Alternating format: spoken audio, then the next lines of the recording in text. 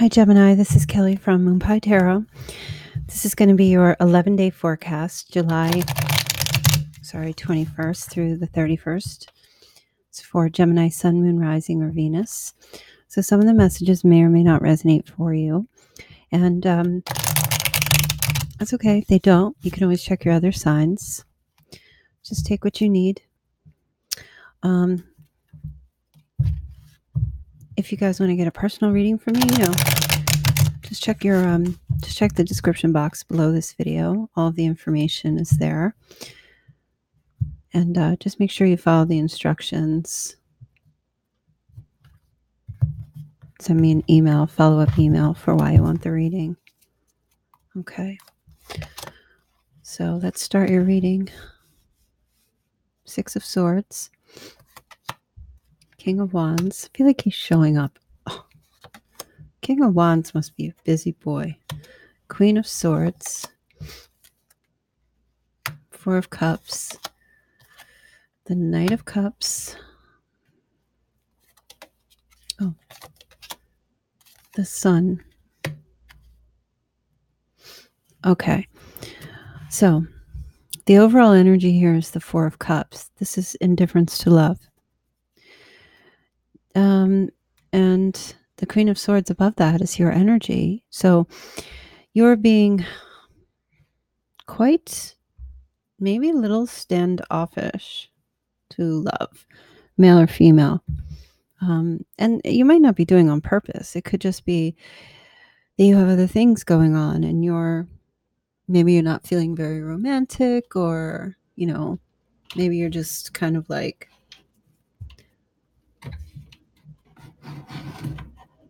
maybe you're like busy with work. Who knows? Something like that going on. The queen of swords male or female when in their element is basically someone who takes on this energy of um, being a logical self-sufficient truth teller. Someone who's powerful intentional quick acting and a, and has like a quick acting thought type of leadership abilities and being the air sign, just um, kind of like not really paying attention to love. Uh, could possibly be someone who feels unfulfilled. But also, the other message for you is to be prepared for some unexpected gifts coming to you um, during this time period.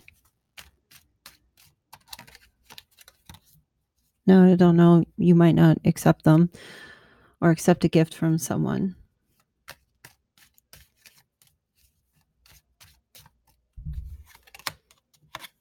Hmm. All right. King of Wands is really playing out here. This is a fire sign, male or female, Sagittarius, Leo, or Aries. So there could be a gift from a Sagittarius coming towards you or Leo strongly strongly picking up Leo um, because of the sun card here. Or, you know, you might be thinking about giving a gift to someone too. I don't, again, they may not accept it right away, but I do feel like there's a proposal of some sort, a love offer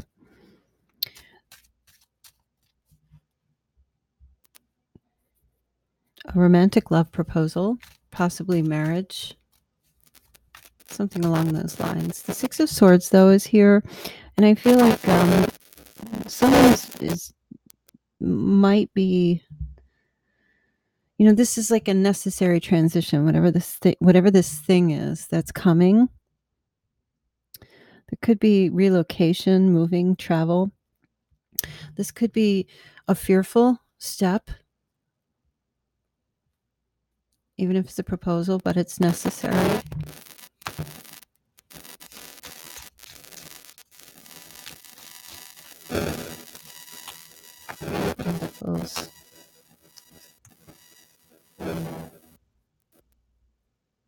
Now we have an earth sign here. Could have something to do with work or finances or money. New job. Um, just material success. Having to make the next step financially, taking a kind of financial burden upon yourself or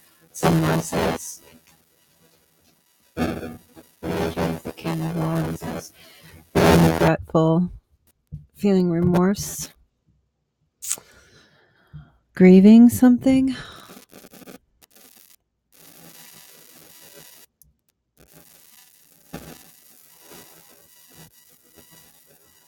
Some of you are just feeling apathetic towards a fire sign. Don't want something from a fire sign. And a fire sign is taking something from you. And that thing that they're craving is you feeling um, like, like there's a loss. They feel unloved. Maybe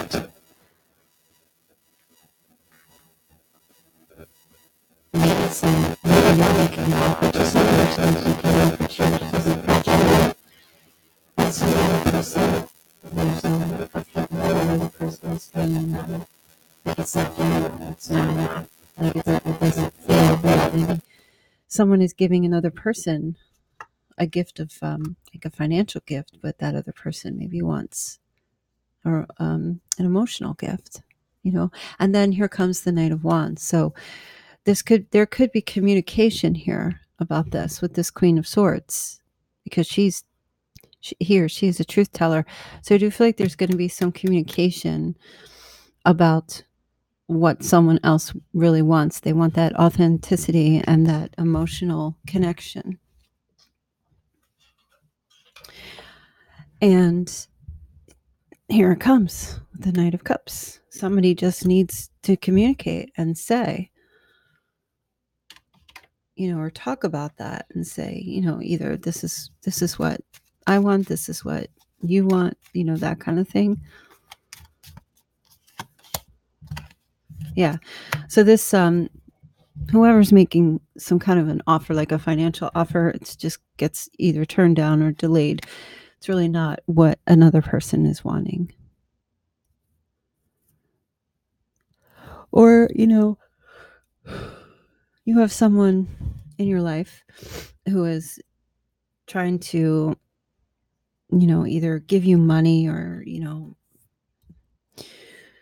uh, it's all the same message. Either it's someone that you're with or it's someone outside of your circle trying to help you financially and it's not what you want. But the Nine of cups again is like a proposal. Could be a marriage proposal. Something that needs to happen now to go to the next step, the next phase. Yeah, there's family support behind this as well. Um, this proposal. This, there's a celebration coming.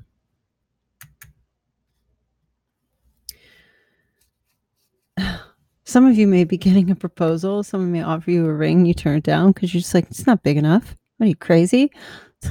what is this tiny little thing?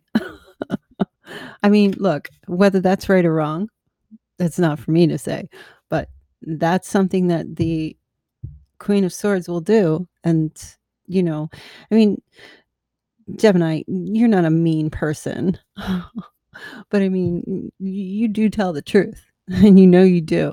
So there is this possibility that you, might be like, mm, take that back. That's not what I wanted. I want this. you know, and you're going to get it. So, you know, hey, you just need to just just keep being you. Just keep being that truthful, honest, refreshing self that you are. you know, I mean, you basically like I could just see you saying, you know, if if your love saying to the other person, if you love me as much as you do, I want to see the size of your love.